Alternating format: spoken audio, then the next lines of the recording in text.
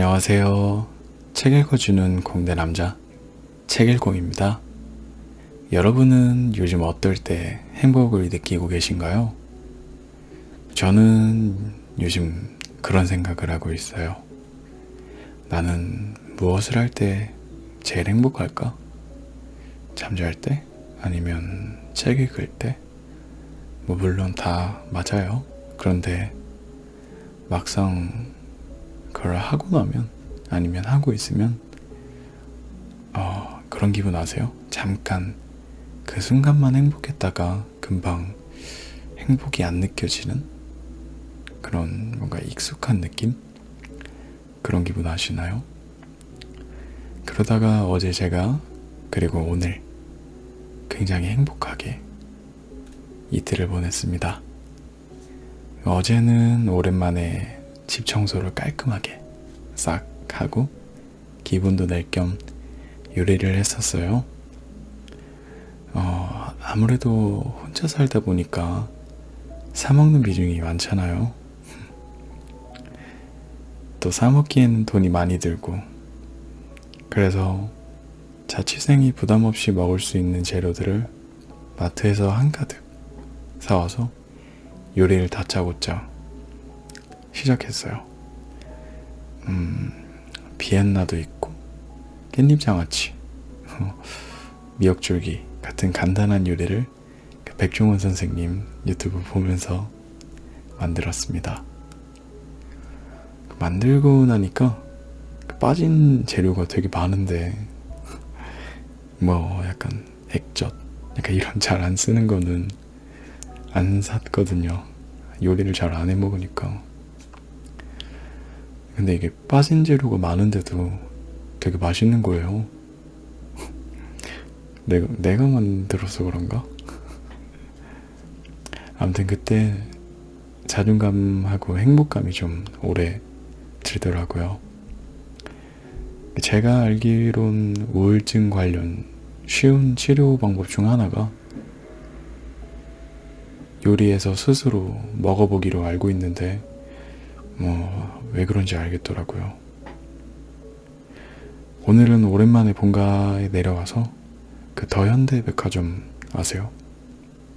최근에 생겨서 SNS에서 인기가 굉장히 많았죠.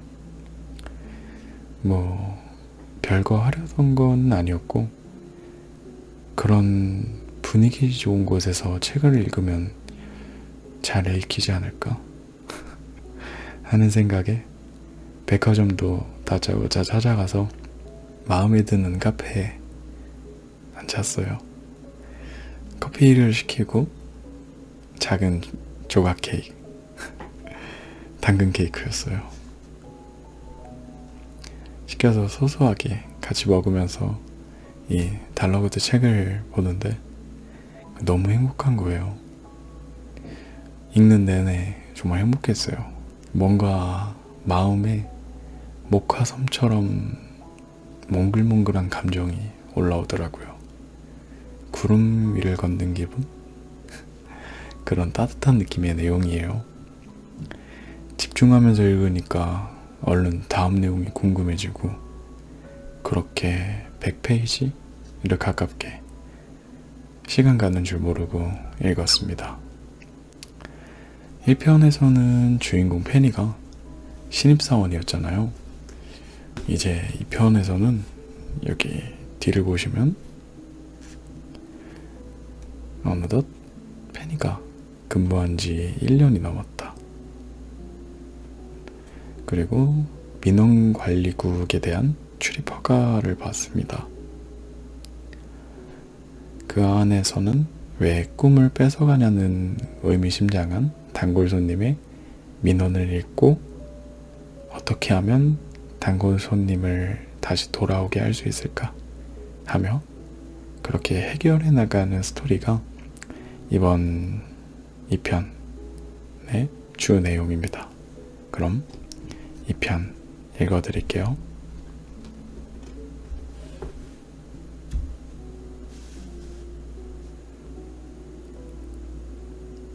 제2장 민원관리국 월요일 아침은 다른 날보다 피곤했다. 특히 오늘은 비가 올 것처럼 으슬으슬하고 축축한 날씨 때문에 더했다. 페니는 아침 식사를 포기한 덕분에 늦지 않게 출근 열차의 정류소에 나와 있었다. 페니는 목에 걸고 나온 출입증이 잘 있는지 손으로 확인한 뒤 손을 코트 주머니에 다시 집어넣었다. 어젯밤 늦게 잠든 탓에 자꾸만 하품이 쏟아져 나와서 턱뼈가 뻐근할 지경이었다. 정류소는 집 근처 언덕 위에 식료품점인 아드리아의 부어 앞에 조촐하게 자리하고 있었다. 이른 아침부터 문이 활짝 열려있는 식료품점에는 아침 세일을 노리는 부지런한 사람들이 많이 와 있었다. 페니는 출입문을 드나드는 사람들에게 방해가 되지 않도록 식료품점에서 조금 떨어진 곳에 섰다. 정류소에는 페니보다 먼저 온 대여섯 명의 사람들이 있었는데 그들은 하나같이 귀에 이어폰을 꽂고 혹여 누가 말이라도 걸까봐 팔짱을 낀 채 잔뜩 움츠리고 있었다. 다들 출근 전에 혼자만의 시간을 느긋하게 보내고 싶은 것 같았다. 페니는 곧 출근 열차를 타게 된다는 생각에 조금씩 들뜨기 시작했다. 반면 정작 목적지인 민원관리국은 전혀 기대되지 않았다. 이름에서부터 풍기는 사무적인 분위기와 관공서 특유의 경직된 이미지 때문에 살짝 긴장될 뿐이었다. 게다가 모그베리는 민원관리국에 대하여 경고 아닌 경고를 하기도 했다. 거긴 될 수 있으면 안 가고 싶은 곳이야. 뭐랄까, 마음이 불편해지는 장소거든. 단 몇 분 사이에 정류장 주변의 사람들이 불어났다. 페니 뒤에선 한 무리의 사람들은 진한 곡물 냄새가 나는 따뜻한 음료를 마시면서 이야기를 나누고 있었다. 새로 취임한 민원관리국장 말이야. 취임하자마자 관계자들을 몽땅 불러들였다는군. 의뢰 그러잖아. 권한을 넘겨받으면 전임자가 했던 일을 싹 정리하고 싶은 법이지. 가장 의욕이 넘칠 때가 아닌가? 아, 뜨, 뜨거. 목소리가 걸걸한 남자가 음료를 마시다가 살에 들린 것처럼 캑캑거렸다.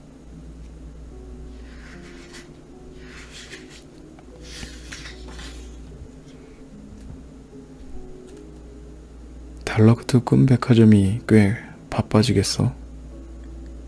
페니는 귀를 쫑긋 열고 뒷사람들의 얘기에 집중했다. 그야 그렇겠지. 손님이 많은 만큼 민원도 가장 많이 들어올 테니까. 됐고, 우리 걱정이나 하자고. 이번에도 신제품 라인이 달러구트 꿈 백화점에 입점하지 못하면 큰일이야. 월요일부터 들들 볶이고 싶진 않은데. 어이구, 비가 오네? 그렇지 않아도 날씨가 축축하더니 빗방울이 기었고 페니의 머리 위로도 떨어지기 시작했다. 비를 피하려는 사람들이 식료품점의 차양 안쪽으로 슬금슬금 모여들었다. 페니는 광고용 입간판 옆에 운 좋게 자리를 잡은 덕분에 비와 바람을 동시에 피할 수 있었다. 마담 세이지의 엄마의 손맛 케첩, 아빠의 손맛 마요네즈. 2021 리뉴얼로 한층 깊어진 맛과 감정. 그리움 0.1% 함유. 요리에 서툴러도 괜찮아요. 감정에 호소하면 되니까요. 언제 어디서나 그리운 부모님의 손맛을 재현해 보세요. 입간판에는 오므라이스를 먹고 감동의 눈물을 흘리는 아이들과 그들의 뒤에서 제품을 들고 엄지를 치켜 세우고 있는 아빠와 엄마의 모습이 담겨 있었다. 아이들 앞에 있는 오므라이스는 노란 달걀이 보이지 않을 정도로 새빨간 케첩 범벅이었다. 페니는 모델들의 익살스러운 표정이 우스워서 빤히 보고 있다가 비를 완전히 피하려고 더 안쪽으로 뒷걸음치던 앞사람에게 발을 밟히고 말았다. 앞사람은 사과도 없이 이어폰을 끼고 리듬에 맞춰 머리만 흔들어댔다. 페니는 그에게서 멀찍이 떨어지려고 걸음을 옆으로 크게 옮기다가 무언가에 안기듯이 부딪히고 말았다. 굉장히 푹신하고 부드러운 감촉이었다. 페니, 이 시간에 왜 여기 있어? 부드러운 감촉의 정체는 녹틸루카 아쌈이었다. 아쌈은 양쪽 앞발로 커다란 장바구니를 들고 그것도 모자라 꼬리에도 바구니를 하나 더 걸고 있었다. 아쌈, 아침 일찍부터 장 보러 온 거야? 난 일이 있어서 출근 열차를 타러 왔어. 드디어 나도 출입증이 나왔거든. 내가 꿈백화점에서 일한 지 벌써 1년이 됐어. 와, 시간이 벌써 그렇게 됐어? 페니, 나도 마침 기쁜 소식이 있어. 나도 조만간 출근 열차를 자주 이용하게 될것 같아. 경력도 꽉 찼고 중요한 조건도 갖춰져서 드디어 이직할 수 있게 됐거든. 이직이라고? 어디로? 세탁소 말이야. 아찔한 내리막 아래에 있는 녹틸로카 세탁소. 녹틸로카라면 누구나 세탁소에서 일하는 게 꿈이지. 길 위를 돌아다니면서 사람들한테 수면 가운을 입힌 지도 어언 30년째야. 경력은 진작에 꽉 채웠어. 다른 중요한 조건을 갖추느라고 오래 기다렸어.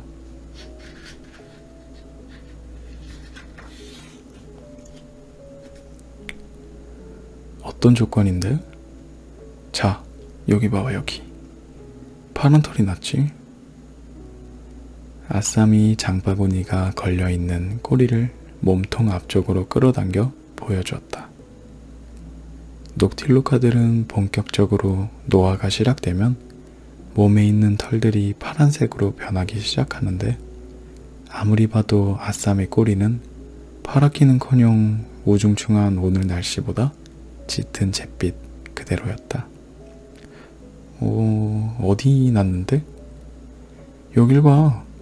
꼬리 안쪽부터 털이 파랗게 변하고 있잖아. 아쌈이 자신의 풍성한 꼬리털을 헤집어서 안쪽에 손톱만큼 도단한 파란 털을 보여줬다. 그는 노아의 징표인 파란 털이 훈장이라도 되는 것처럼 자랑스러워했다. 언제 이렇게 나이가 든 거야, 아쌈? 페니가 아쌈의 꼬리를 매만지면서 서글프게 말했다. 아쌈의 장바구니에서 삐져나온 기다란 대파 한 단이 페니의 옆구리를 쿡쿡 찔렀다. 어, 미안한데 페니. 내가 늙긴 했지만 너보다 오래 살걸? 뭐?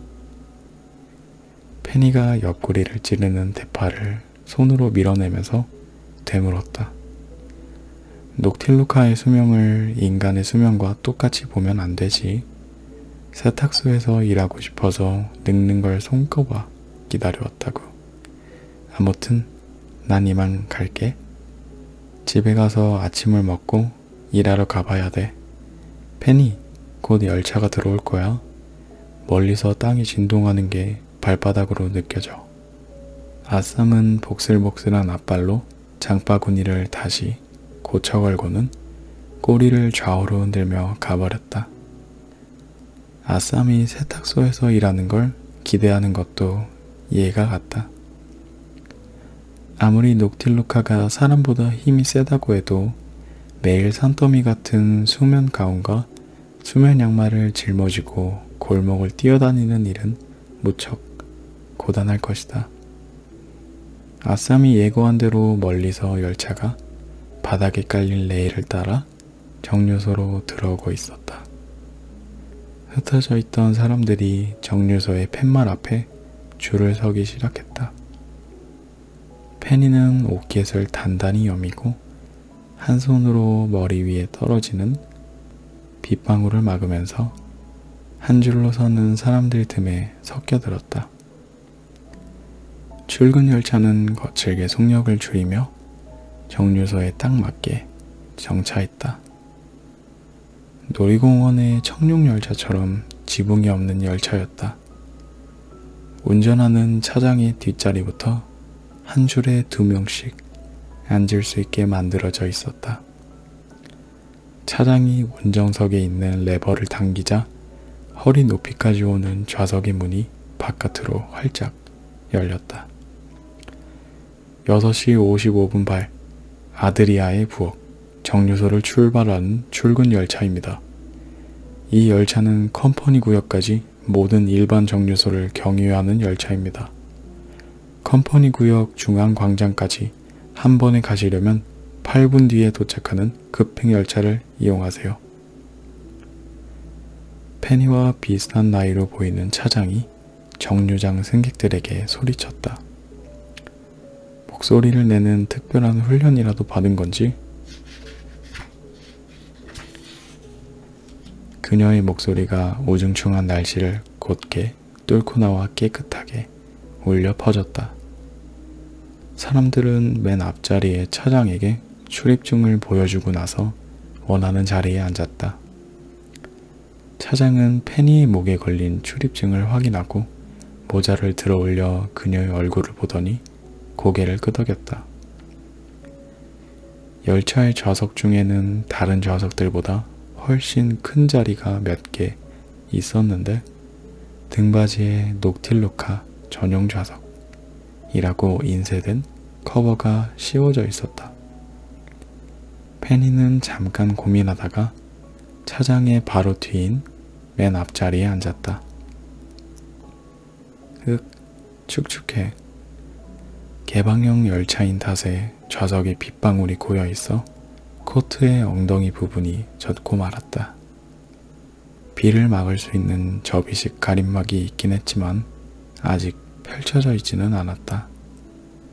차장은 엉덩이가 젖은 승객들이 투덜거리자 그제야 운정석 옆에 뒀던 구부러진 쇠꼬챙이를 무심하게 들어 올리더니 보지도 않고 가림막 끝자락을 솜씨 좋게 낚아채서 끌어내렸다. 급행열차를 그 기다리는 듯한 정류소에 남은 몇 사람을 제외하고 모두가 한 자리씩 차지하고 앉았다. 옆에 누가 앉지 않는다는 걸 확인하고 나서야 다들 편안한 자세로 혼자만의 시간으로 돌아갔다. 페니도 이제 한시름 놓으려는데 갑자기 누군가 펜의 옆자리를 묵직하게 꿰차고 앉는 것이 느껴졌다. 그 바람에 페니의 하늘색 코트 자락이 불청객의 엉덩이 밑으로 말려 들어갔다. 어? 모텔, 너가 웬일이야? 웬일이긴? 너도 연봉 협상 때 출입증을 받고 달러구트님이 민원관리국에 가자고 하신 거 아니야? 아, 너도 이번에 출입증을 받는다고 했지? 깜빡했어. 일찍 나와서 시간이 좀 남길래 우리 집 근처 정류소에서 여기까지 걸어왔는데 하마터면 양쪽 다 놓칠 뻔했어. 그는 엉덩이를 살짝 들어 코트를 뺄 수 있게 도와줬다. 모테일이 똑바로 앉자마자 열차가 움직이기 시작했다. 모테일, 민원관리국은 어떻게 생겼을까? 멀리서는 잘 보이질 않아서 궁금해. 가까이서 보면 외관도 엄청 특이하대. 얼른 가보고 싶어. 나는 민원관리국보다는 그 위에 있는 테스트 센터가 더 궁금해. 꿈을 만드는데 사용하는 온갖 재료들이 있어서 즉석에서 촉각이나 후각을 만들어내기도 하고 만든 꿈의 성능을 테스트하기도 한데 모테일은 제법 많은 것을 알고 있었다. 우리도 가볼 수 있으면 좋을 텐데. 이야기를 나누는 사이 달러그트가 다음 정류장에서 탑승했다. 그는 물에 젖지 않는 소재에 반질반질한 코트를 입고 보라색 우산을 들고 있었다. 차장은 달러구트의 얼굴 자체가 출입증이라도 된다는 듯이 그의 출입증은 검사도 하지 않았다. 열차 뒤편에 낯선 남자가 자리에서 일어나 달러구트에게 꾸벅 인사를 했다.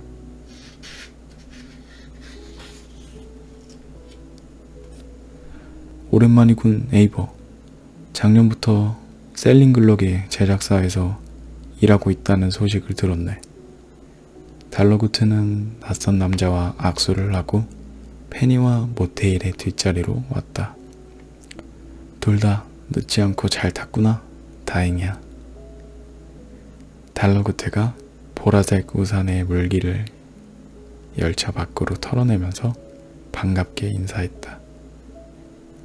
달러구트가 자리에 앉으려는데 열차가 출발하려다가 다시 급하게 멈췄다. 그 바람에 달러구트의 몸이 크게 휘청거렸다. 커다란 몸을 뒤뚱거리며 네 마리의 녹틸로카들이 달려오고 있었다. 모두가 온몸이 파란색 털로 뒤덮여 있었다. 그들은 자기 몸집만한 빨래 바구니를 껴안고 있었다. 시간에 맞춰 일찍 좀 다니세요. 차장이 녹틸로카들에게 핀잔을 줬다. 녹틸로카들도 따로 출입증 검사는 하지 않았다. 그들은 빨래 바구니에서 빨랫감을 꺼내 빈자리에 쌓아 올리고 빈 바구니들을 겹쳐서 맨 뒷자리의 등받이에 거꾸로 매달았다. 빨랫감은 매우 무거워 보였다. 세탁소의 일은 생각했던 만큼 편해 보이지 않았다. 페니는 아쌈이 이 사실을 알고 있는 건지 걱정되기 시작했다. 유난히 푸른 녹틸루카가 금방이라도 열차 밖으로 흘러내릴 것 같은 빨랫감을 앞발로 팡팡 두드려서 평평하게 다듬었다. 열차는 멈추지 않고 레일 위를 부지런히 달렸다. 열차를 타서 신난 모테일이 쉴 새 없이 떠들면서 들썩이는 통에 페니는 좌석 끝에 몸을 바짝 붙이고 앉았다. 가림막 끝에 맺힌 빗방울에 페니의 어깨가 축축하게 젖어가고 있었다. 이윽고 출근 열차 외에는 다른 차량이 눈에 띄지 않을 만큼 도심에서 멀어졌을 때 전방으로 뻗어있던 레일이 갑자기 시야에서 사라졌다. 드디어 멀리서 보기만 했던 그 아찔한 내리막에 다다른 것이다. 얼마나 경사가 심한지 아래로 펼쳐진 내리막은 보이지도 않았다. 점점 내리막으로 다가가자 손에 저절로 땀이 나기 시작했다. 녹틸로카들의 빨랫감은 전부 쏟아져 떨어질 것 같았고 손잡이나 안전바도 없는 이 고물 청룡 열차가 너무나 못 믿었게 느껴졌다. 이거 괜찮은 거 맞지? 모테일의 불안한 목소리가 긴장감을 더했다. 페니는 앞자리 차장이 발치에서 작은 병을 꺼내더니 핸들 옆에 있는 녹슨 마개를 열고 병에 담겨 있던 액체를 반쯤 붓는 것을 보았다.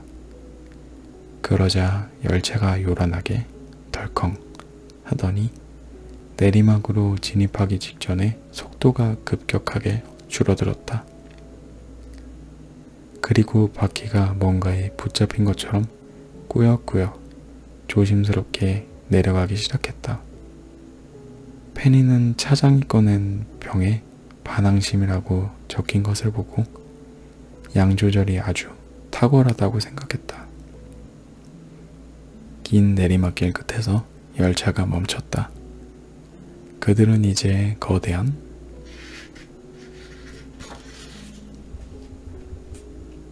암벽 사이의 골짜기에 들어와 있었다. 현재 시각 7시 13분. 이번 정류장은 녹틸루카 세탁소입니다. 컴퍼니 구역까지 가시는 분들은 하차하지 마시고 자리에 그대로 계십시오. 열차가 곧 출발합니다. 세탁소? 세탁소가 어딨어? 페니가 두리번거리자 뒤에서 달라구테가 그녀의 어깨를 가볍게 툭 쳤다. 페니, 뒤쪽을 보렴. 그들이 내려왔던 레일 옆에 거대한 동굴 입구가 뻥 뚫려 있었다. 빨랫감을 챙겨든 녹틸루카들은 열차에서 내리자마자 동굴로 걸어가고 있었다. 녹틸루카 세탁소라고 삐뚤빼뚤하게 적혀 있는 나무 간판이 안반 위에 위태롭게 걸려 있었다. 모테일, 저런 곳에서 빨래가 잘 마를까? 꼭 햇볕에 말려야 하는 건 아니니까 성능 좋은 건조기라도 있겠지. 모테일이 대수롭지 않게 대답했다. 모테일은 세탁소에는 관심이 없었고 전방의 암벽에 창문 크기로 난 구멍을 쳐다보고 있었다. 그는 자세히 보려고 눈을 잔뜩 찌푸렸다. 저 구멍 안에 사람이 있는 것 같아. 녹틸루카들이 모두 하차한 뒤 차장이 열차를 30m 정도 전진시키자 그 구멍의 정체가 확실히 드러났다. 암벽에 구멍을 뚫어서 만든 작은 매점이었다. 원래 푹 패여 있던 공간에 건축 자재를 넣어서 만든 것인지 일부러 암벽에 구멍을 뚫은 것인지 분간이 되질 않았다. 메뉴판은 매점이 있는 구멍에 양옆에 걸려 있었는데 세탁소의 간판과 비슷한 재질의 나무 판자였다. 차장은 딴청을 피우면서 손님들이 매점의 상품을 구경할 수 있게 기다려 주었다. 삶은 달걀, 신문, 간단한 주전부리 있습니다. 매점 안에 앉아있던 주인이 열차의 승객들에게 외치자 승객들이 너나 할 것 없이 앞다퉈 주문하기 시작했다. 달걀 두 개랑 신문 한 부 주세요. 매점 주인은 기다란 작대기 끝에 달걀과 신문이 든 바구니를 걸어 정확히 주문한 승객 앞에 내밀었다. 승객이 바구니 안에 돈을 집어넣고 주인이 작대기를 회수하는 것으로 거래는 일사천리로 끝났다. 저걸 봐. 월요일 치료제라는 게 있어. 새로 나온 자양 강장제인가 봐. 모테일이 매점의 메뉴판을 살펴보다가 갈색 병에 담긴 음료에 관심을 보이자 달러그테가 선뜻 지갑을 꺼냈다. 하나씩 마셔보겠니? 그래도 되나요? 물론이지. 여기 월요병 치료제 두 병, 그리고 신문 한 부 주시오.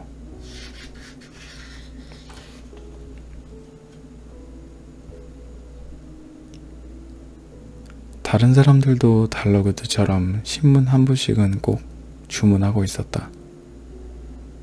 이상한 점은 다들 신문을 펼쳐 가장 뒤 페이지만 보고 바로 덮는다는 것이었다.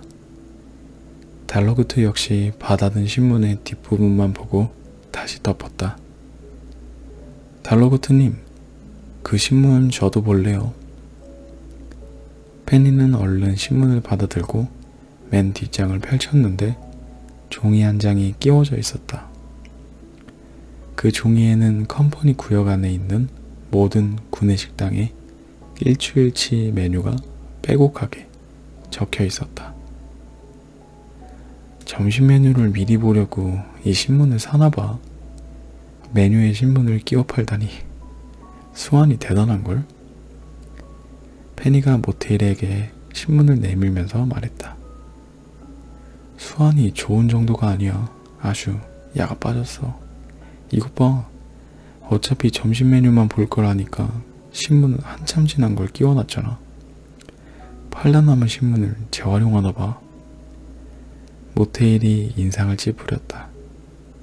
그는 신문을 미련 없이 접어 달러부트에게 돌려주고 자기 몫의 월요병 치료제를 손에 들었다. 평범한 자연강장제처럼 생긴 어두운 색상의 병 안에는 걸쭉한 액체가 담겨 있었다. 뚜껑에 글자가 있어?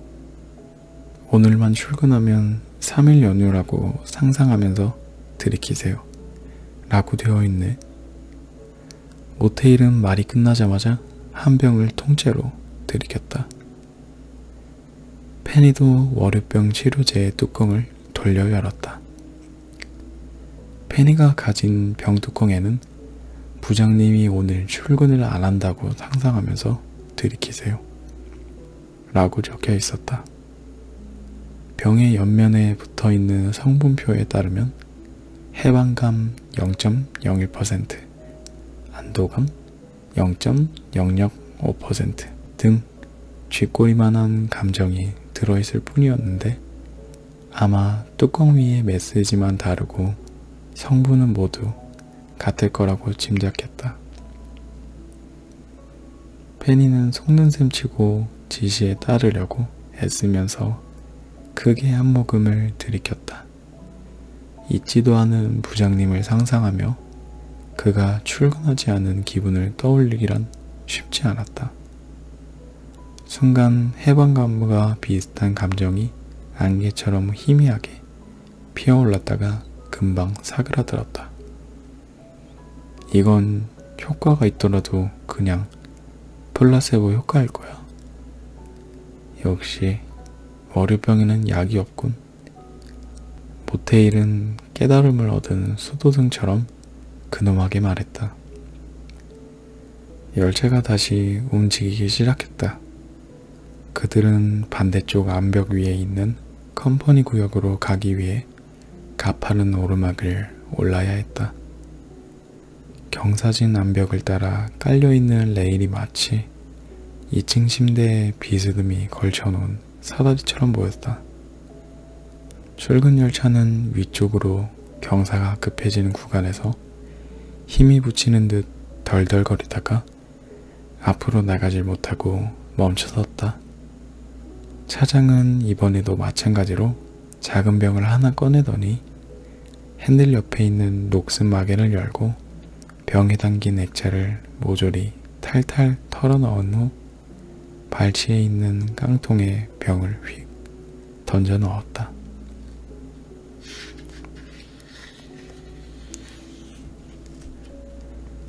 그러자 열차가 우렁찬 소리를 내며 오르막을 시원하게 오르기 시작했다.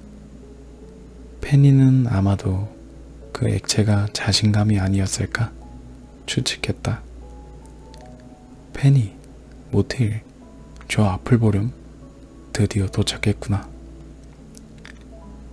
어느새 깎아지른 절벽과 암벽 위에 펼쳐진 장대한 경관이 천천히 모습을 드러내고 있었다. 조금 내리던 비도 완전히 그쳐서 차장이 가림막을 걷어 올렸다. 울창한 나무 사이를 통과한 햇살이 눈부시지 않을 정도의 적당한 밝기로 얼굴에 닿았고 비에 살짝 젖은 흙냄새가 코를 간지럽혔다. 우와, 생각했던 것보다 훨씬 넓어. 대체 몇 명이나 컴퍼니 구역에서 일하고 있는 걸까? 그들 앞에 축구장보다 큰 중앙광장의 모습이 드러났다. 컴퍼니 구역을 오가는 다른 많은 출근 열차들이 차고지에 멈춰 서 있었고 보안 요원들은 하차하는 사람들의 출입증을 다시 확인하고 있었다. 컴퍼니 구역 입구 양쪽엔 엄숙하게 선서하는 자세의 동상이 호위하듯 세워져 있었고 열차가 차고지로 들어가는 길을 따라 짧은 선서문이 돌바닥 위에 엄숙한 필체로 새겨져 있었다. 우리는 모든 생명이 잠든 시간을 소중하게 갖고 나갈 임무를 부여받은 바 그들의 시간에 경애와 존경을 담아 일할 것을 경건하게 맹세한다. 차고지에 도착하자 열차가 천천히 멈춰서고 차장이 안내 방송을 했다. 꿈 산업의 중심지 컴퍼니 구역에 도착했습니다.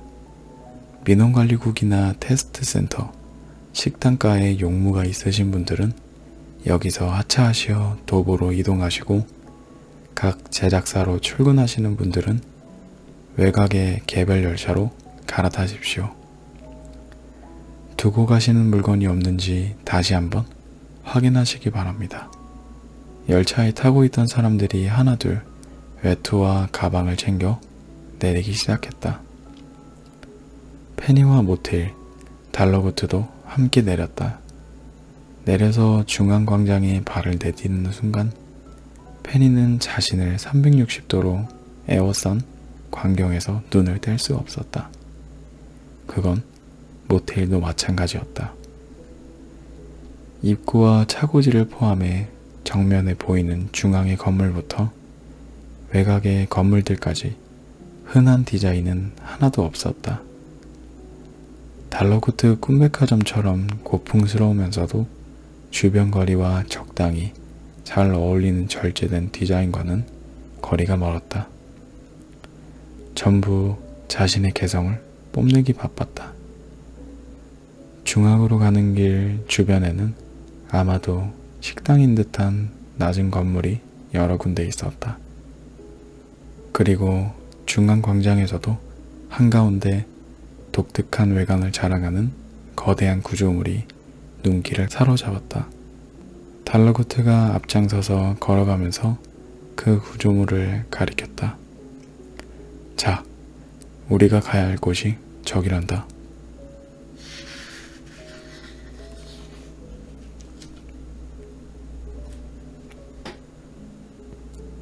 나무 밑동처럼 생긴 곳 말인가요? 저기가 민원관리국이에요? 그렇단다.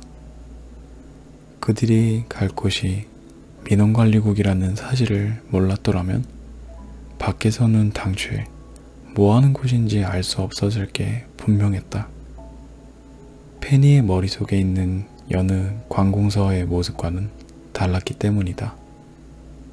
민원관리국은 세계에서 가장 큰 나무를 도끼로 베어내서 밑동만 남긴 것 같은 생김새였다. 출입구로 드나드는 사람들이 보이지 않았다면 건물인지 알아보기도 힘들 정도였다. 게다가 그 위로 알록달록한 색상의 집채만한 컨테이너가 여러 개 쌓여 있었다.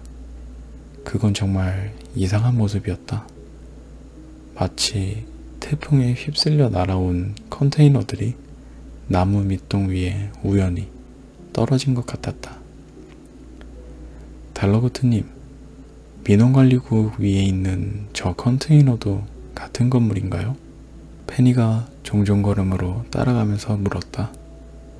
저긴 테스트 센터란다?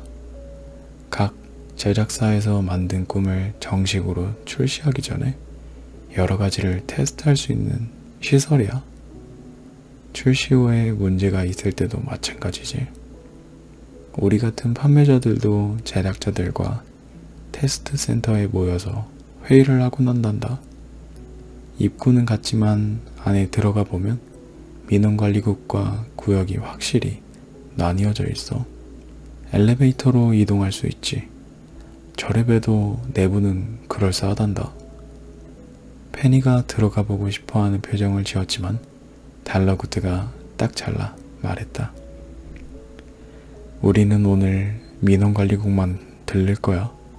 그런데 모텔이 어디 갔지? 달러구트가 두리번거렸다.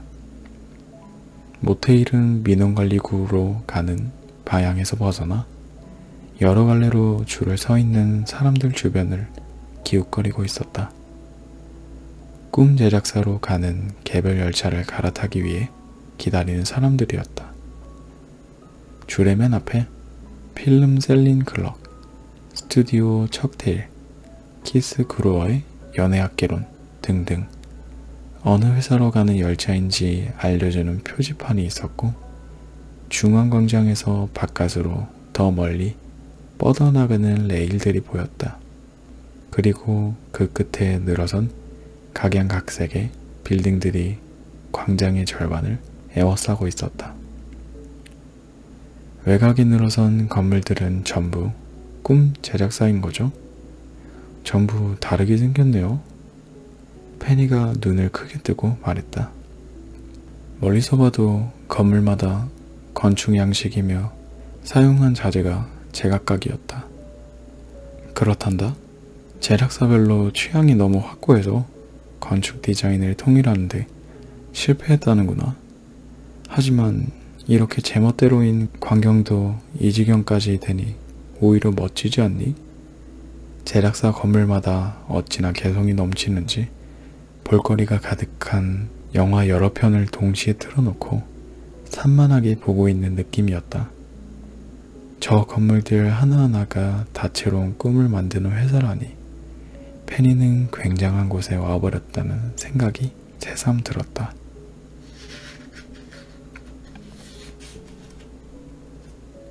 우와, 저 건물을 봐. 커다랗게 스튜디오 척테일이라고 쓰여 있어. 저기가 바로 야릇한 꿈을 만드는 척테일의 제작사인가 봐. 모테일이 목소리를 높였다. 세 사람은 그 자리에 서서 모테일이 가리키는 곳을 바라봤다.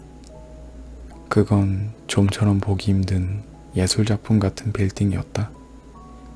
유려하고 과감한 곡선을 가진 빌딩의 저층부에는 채도가 낮은 붉은빛을 띠고 있는데 반해 중층부와 고층부는 반짝이는 햇빛을 그대로 통과시키고 있었다. 페니는 빌딩 전체가 레드 와인이 한 모금 남은 와인잔 같다고 생각했다. 달러고트님, 그 옆에 건물은 어떤 회사죠? 건물 귀퉁이가 날아가서 부서진 것처럼 보이는 회사 말이에요. 저기는 필름 셀린 글럭이야. 셀린 글럭이 누군지는 알지? 네, 물론이죠. 우리 가게 3층에 판타지나 블록버스터 영화 같은 꿈을 공급하시죠. 아, 저기가 바로 셀린 글럭의 회사군요.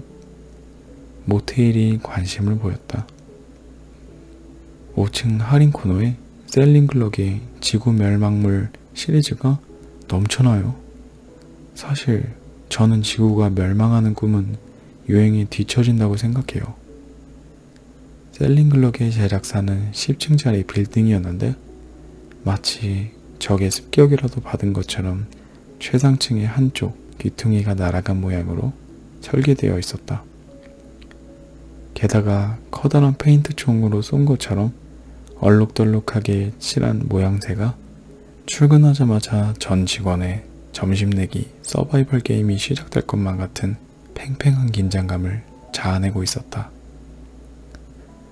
셀링글럭의 제작사로 가는 대기줄의 끝에는 무척 피곤해 보이는 두 사람이 서 있었다.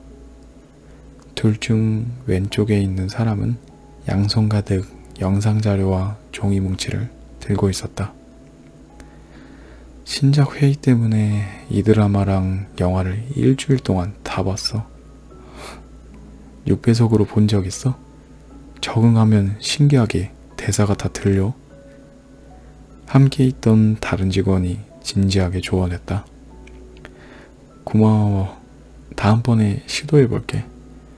아, 이번에도 신작으로 좀비물을 내자고 하면 대표님이 가만히 있지 않을 텐데. 내 머릿속엔 좀비가 나오는 꿈밖에 없어. 독창적인 지구 멸망물이 없을까? 나도 외계인 침공 말고는 떠오르는 게 없어. 이번엔 살짝 바꿔보긴 했는데 통과될지는 모르겠어. 옆 부서의 A1은 온 세상이 소금 사막으로 뒤덮여서 모든 생물이 서서히 절여지면서 멸망하는 꿈을 준비 중이라더군. 난 그 친구의 장래가 걱정돼. 셀링글럭이 대표로 있는 꿈 제작사 필름 셀링글럭은 꿈속에서 블록버스터급 재난을 겪거나 슈퍼히어로가 되어 외계인의 침공에 맞서는 등 영화 같은 꿈을 주력으로 제작하는 회사였다. 근무 시간 내내 드라마나 영화를 본다는 점 때문에 월급 받으면서 공짜 영화를 볼 수 있어 좋겠다는 막연한 부러움이 있었다. 하지만 방금 두 사람의 피곤한 행색으로 보아 말처럼 쉬운 일은 아닌 것 같았다.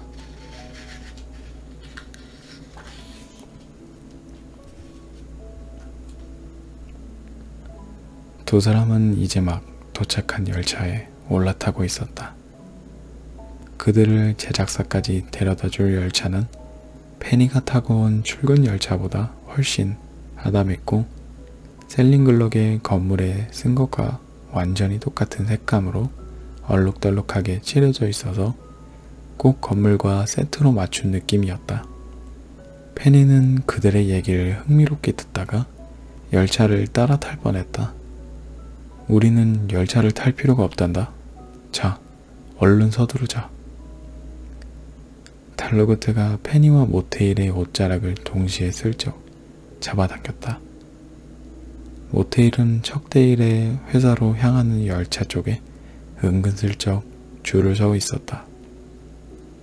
페니와 모테일은 제작사 건물에서 눈을 떼지 못하고 쭈뼛거리며 민원관리국으로 향했다.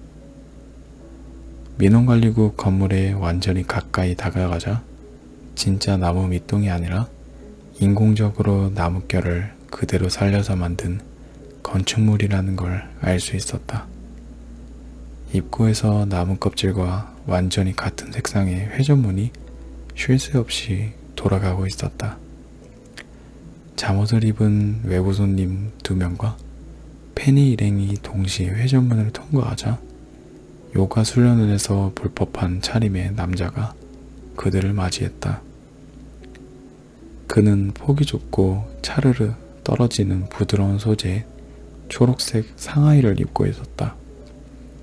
작은 풀벌레 한 마리가 그의 손등 위를 살금살금 기어가는 게 보였다. 민원 접수는 이쪽입니다. 찾아오시느라 힘들지 않으셨나요?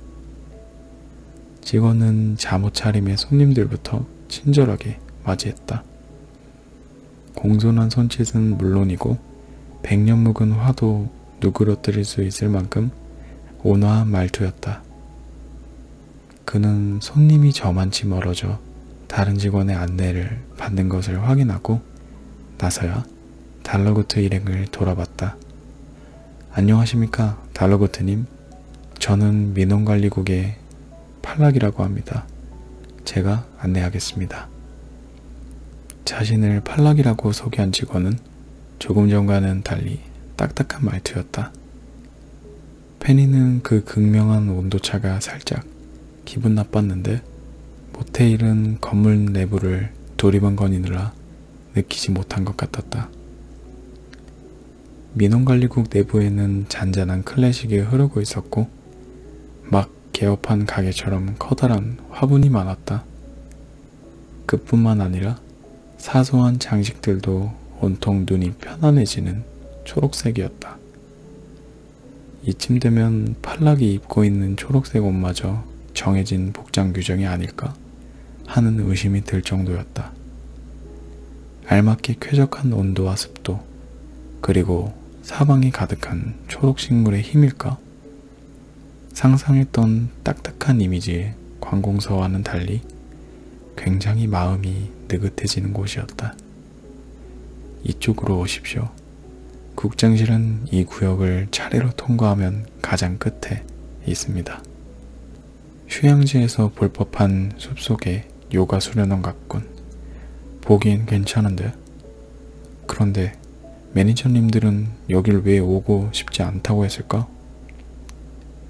모테일이 페니의 귓가에 손을 대고 속삭였다. 팔랑은 앞장서서 중앙 엘리베이터의 오른쪽으로 걸어갔다. 유리문이 설치된 복도 입구에 팻말이 큼지막하게 붙어 있었다.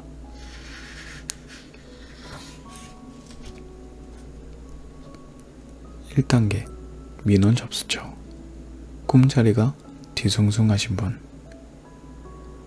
1단계 민원이라면 2단계? 3단계도 있어요? 갈수록 심각해지는 건가요? 모테일이 유리문 앞에 멈춰서서 팻말을 가리켰다. 맞습니다. 1단계 민원이 잠을 개운하게 잘 수 없는 정도라면 2단계는 일상생활에 피해가 갈 만큼 불편한 정도 3단계는 꿈을 꾸는 것 자체가 고통스러울 정도입니다. 3단계는 1, 2단계의 직원들이 처리하지 못해서 국장님이 직접 관리하시는 민원입니다. 팔락이 막힘없이 대답하며 유리문을 열었다. 민원관리국 내부는 넓은 복도가 시계 반대 방향으로 굴곡지게 뻗어 있었는데 이 길을 따라 한 바퀴 돌고 나면 다시 중앙 엘리베이터 앞으로 가게 되는 구조인 것 같았다. 복도 좌우에는 은행이나 관공서에서 볼 법한 창구들이 늘어서 있었다. 그런데 한 가지 특이한 점은 민원인과 직원이 책상을 사이에 두고 마주보고 있는 게 아니라 친한 친구처럼 나란히 앉아 있다는 것이었다. 직원들은 모두 팔락과 같은 초록색 옷을 입고 있었다. 이걸 어째, 아, 그러셨구나. 정말 많이 힘드셨겠네요. 마침 가장 가까운 창구의 직원이 다정하게 민원인을 달래는 소리가 들렸다. 그의 옆에는 강렬한 꽃무늬 잠옷을 입은 손님이 앉아서 열변을 토하고 있었다.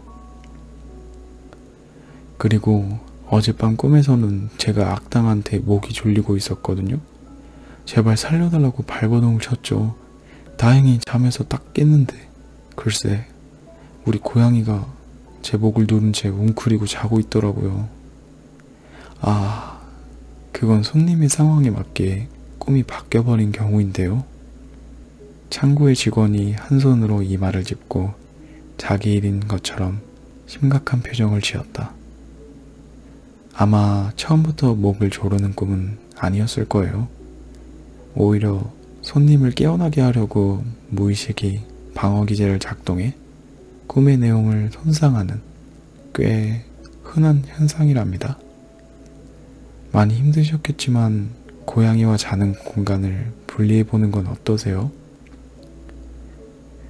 다음 민원 창구에도 또 그 다음 민원 창구에도 자신이 꾼 꿈에 대해 불만을 토로하는 손님들이 가득했다. 어떤 손님은 옆 창고에서 무슨 일인지 쳐다볼 정도로 언성을 높이고 있었다. 제가 요즘 이것 때문에 정말 미친 노릇이에요. 아침에 자고 일어나서 분명히 욕실까지 걸어가서 샤워하고 옷을 입고 신발까지 신고 문 밖을 여유롭게 나서거든요. 그런데 정신 차려보면 글쎄 아직도 자고 있던 거예요. 그래서 늦었다. 큰일 났다. 싶어서 다시 씻으러 가요. 그런데 샤워기를 틀었는데 어쩐지 물 맞는 느낌이 개운하지가 않은 게 정신이 번쩍 드는 느낌이 없어요. 이상하다 싶지만 열심히 씻어요. 씻고 보면 역시나 그것도 또 꿈이에요. 이렇게 열번 가까이 준비하는 꿈만 계속 꾸다가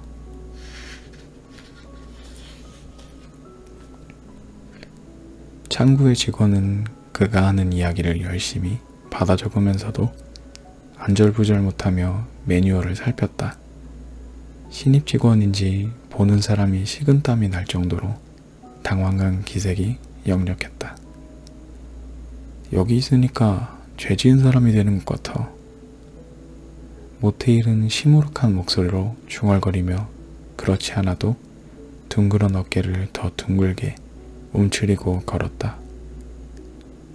그들을 안내하는 팔락은 뒷짐을 지고 엄청나게 느리게 걷고 있었다. 페니는 자칫 그의 발 뒤꿈치를 밟게 될까봐 바닥을 보고 걸었다. 달러고트는 제일 뒤에서 묵묵히 따라 걸으며 걸음을 재촉하지도 뭐라 말을 하지도 않고 있었다. 창구를 수십 개 지나자 2단계 접수처로 통하는 유리문이 나왔다. 2단계 민원 접수처. 꿈자리가 사나우신 분.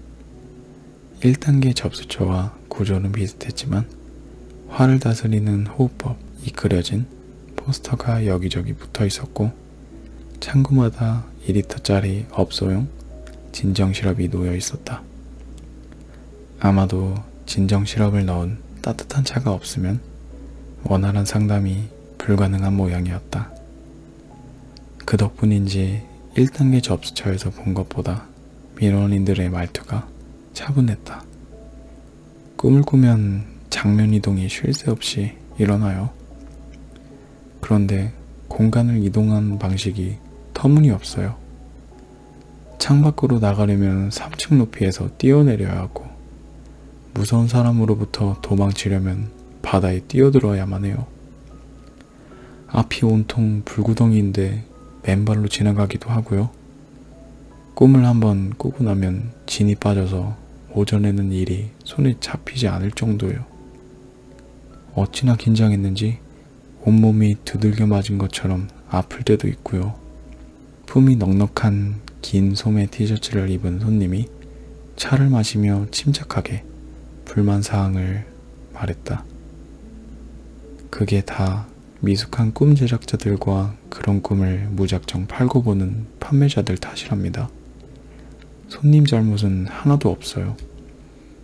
아무리 꿈속이라도 상황에 대한 위화감이나 위험에 대한 본능적인 거부감은 남아있기 마련인데 말이죠.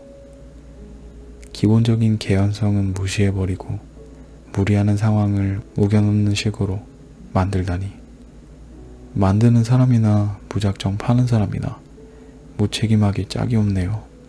옆을 지나가던 페니의 귀에 무책임하다 라는 말이 또렷하게 박혔다. 저분 말씀은 조금 지나치신 것 같아요. 무책임하다니. 실제로 감정을 일으키지 않는 꿈은 꿈값을 받지 않는데 말이에요. 페니가 용기 내서 입을 열었다. 그러자 앞서가던 팔락이 갑자기 멈춰서서 페니를 뒤돌아보았다. 선심 쓰는 것처럼 얘기하는군요. 그의 살벌한 대답에 말문이 막힌 페니 대신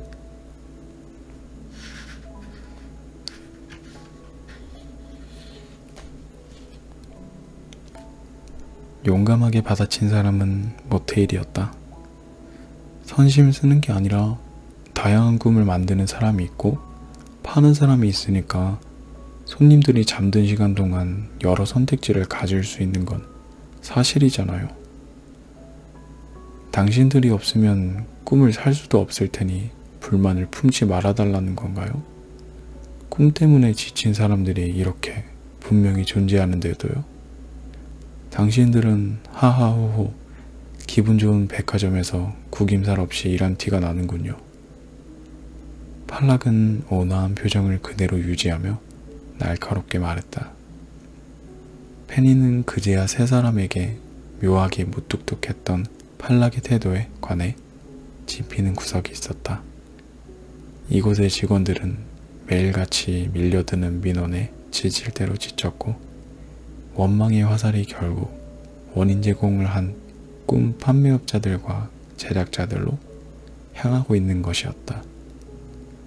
내 평생 이렇게 불편한 곳은 처음이야. 모테일은 입술을 쭉 내밀며 투덜거렸다. 페니는 꿈 백화점에서 일하며 제 발로 꿈을 살아오는 손님들만 보다가 갑자기 정반대의 경우를 접하게 되자 적잖이 혼란스러웠다. 사탕 가게를 운영하면서 아이들의 열렬한 지지를 받다가 치과 의사가 잔뜩 모인 자리에 제 발로 찾아가서 조목조목 원망을 듣고 오면 이런 기분일까? 페니는 보그베리가 민원관리국에 오고 싶지 않아 했던 것을 그제야 이해했다. 드디어 접수실을 벗어나서 가장 안쪽에 있는 국장실에 도착했다. 국장실 문은 닫혀 있었고 한 사람이 방금 이야기를 끝내고 나왔는지 서류 봉투를 들고 달러구트에게 아는 체를 했다. 페니에게도 제법 익숙한 얼굴이었다. 그랑봉 얼굴이 더 좋아졌군.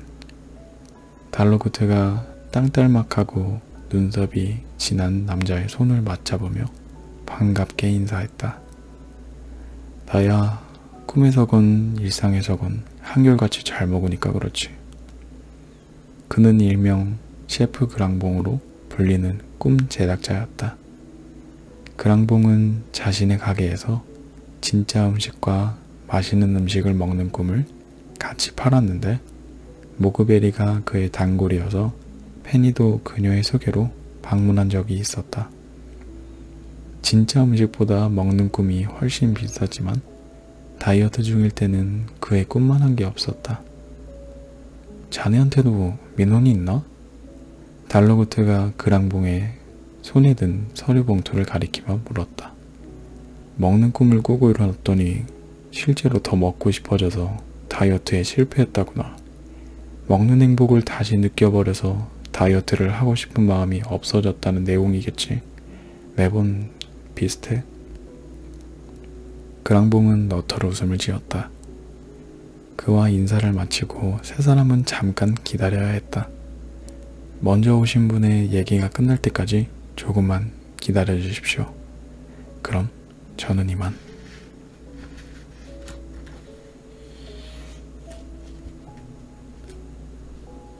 팔락은 마지막까지 그들을 안내한 뒤 다른 사람들을 마중하러 가버렸다.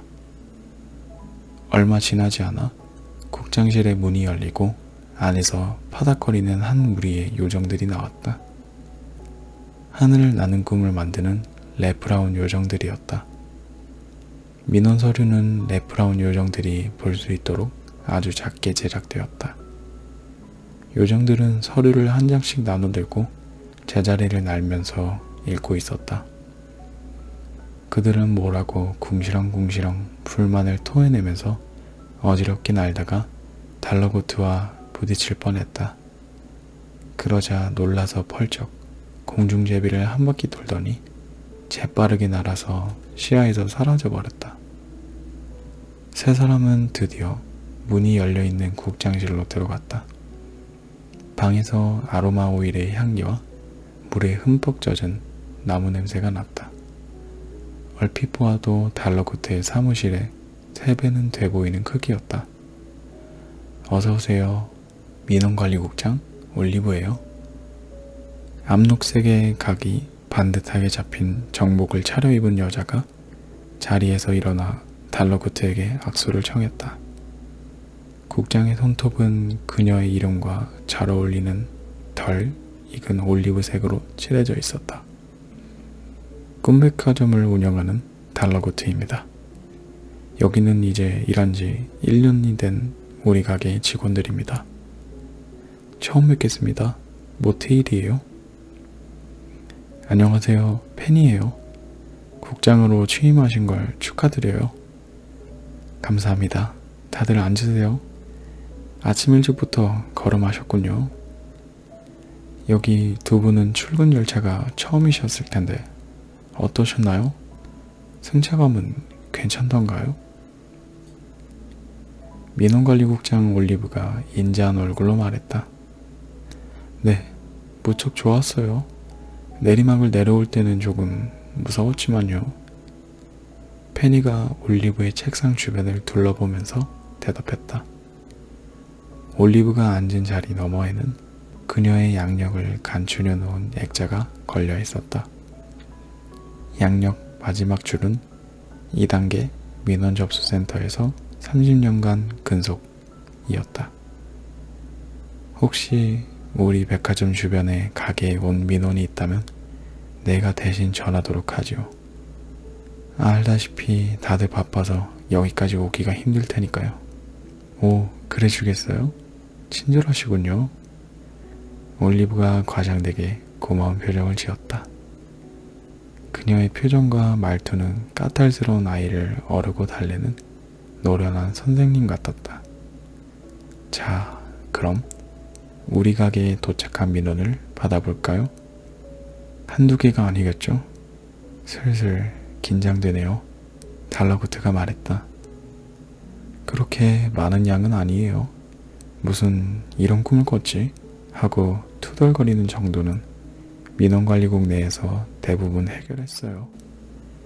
층별로 분류해서 넣어두었으니 확인하기 편하실 거예요. 한번 보세요. 달러고트가 국장이 걷는 달러고트 꿈 백화점이라고 쓰여 있는 서류 봉투를 열었다.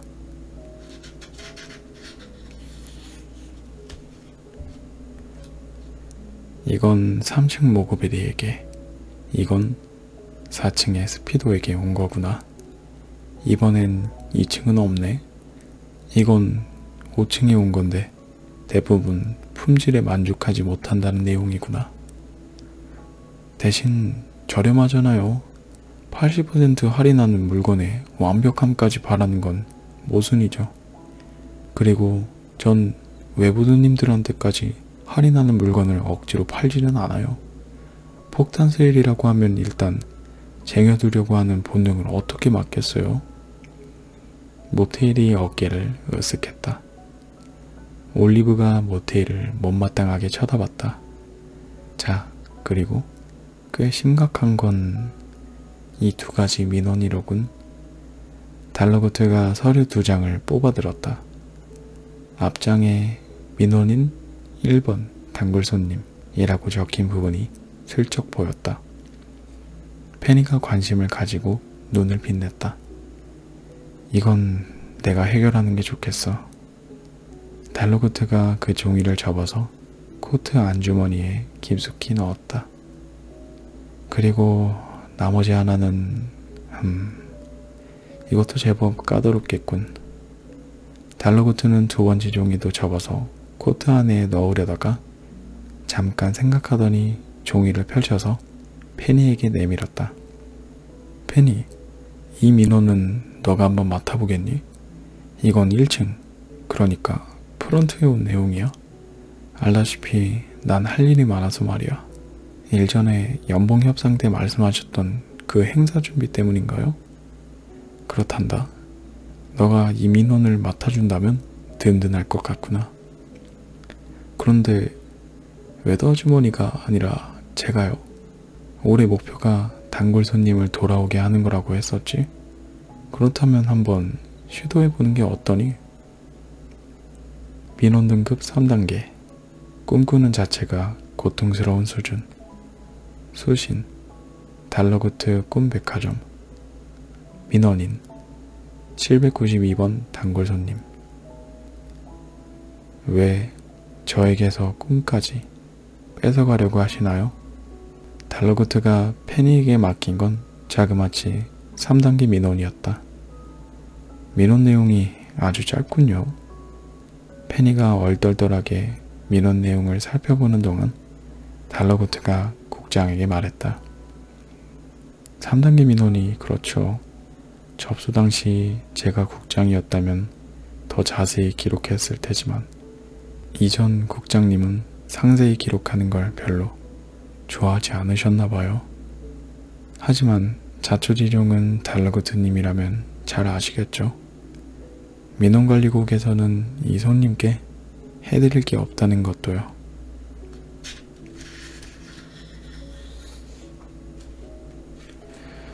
음, 그렇겠네요.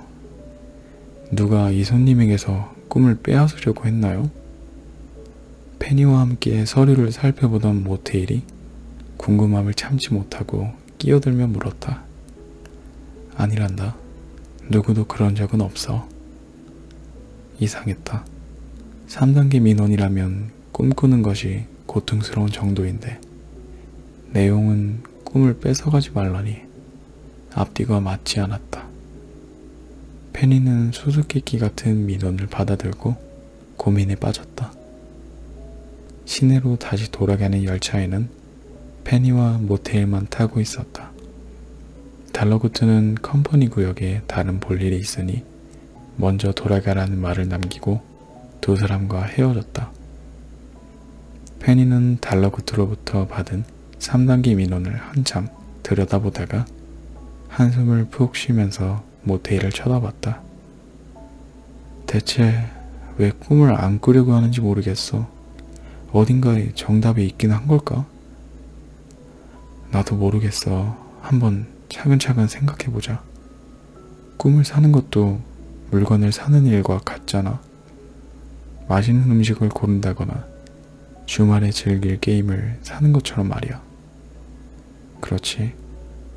페니, 혹시 꿈을 뺏겼다라는 말이 꿈을 정말로 꾸고 싶지만 사고 싶은 꿈이 아무것도 없다. 라는 뜻인지도 몰라. 너가 물건을 살 때를 떠올려봐. 가게를 들어갔다가 그냥 나와버리는 경우가 언제지? 찾는 물건이 없을 때지. 하지만 우리 백화점에만 해도 산더미 같이 많은 꿈들이 있는데. 하긴, 그래. 꿈의 종류가 부족한 것 같진 않아.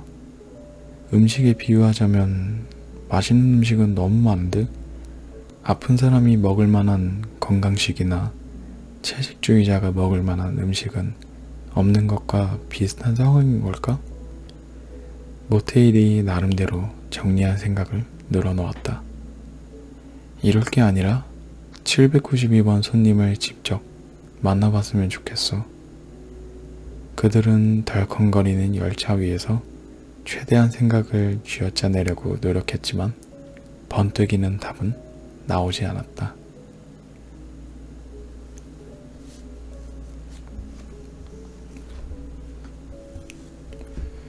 아, 네. 정말 재밌지 않나요? 달러고트의 꿈백화점. 작가님만의 세계관? 그 마블사 세계관처럼 그런 세계관이 있어요. 그 안에서 정말 생각지도 못한 다양한 일이 일어납니다. 사실 2편이 나올 거라고는 생각도 못 했는데 1편을 정말 따뜻하게 읽었던 기억이 있기에 거의 나오자마자 구매했던 것 같네요. 이거는 정말 지극히 개인적인 생각인데 무언가 다음 시리즈를 기대하게 만드는 내용도 있어서서 어, 만약 다음 편이 나온다면 그때도 나오자마자 바로 구매할 것 같아요. 정말 어, 인생 소설이라 해도 무방할 정도로 몰입해서 잘 읽었습니다. 그러면 저희는 이제 자러 가야죠. 다들 안온한 밤 되시길 바랍니다. 잘 자요.